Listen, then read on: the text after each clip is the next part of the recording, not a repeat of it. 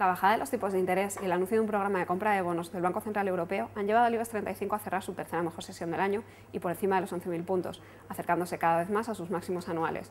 César Nuez, analista técnico de Bolsa Manía, cree que es más que probable que en las próximas sesiones o incluso mañana el selectivo llegue a este máximo anual en los 11.249 puntos. Sin embargo, advierte de la posibilidad de un recorte sobrevolando los mercados, dado el alto nivel de sobrecompra.